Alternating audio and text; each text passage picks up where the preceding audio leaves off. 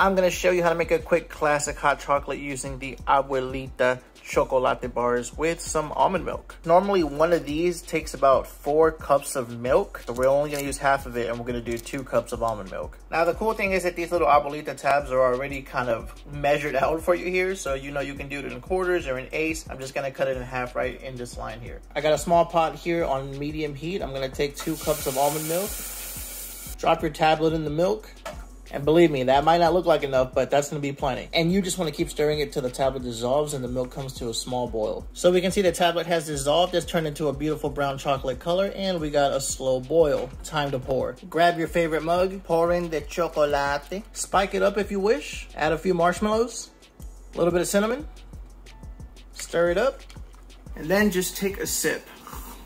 Delicious, easy.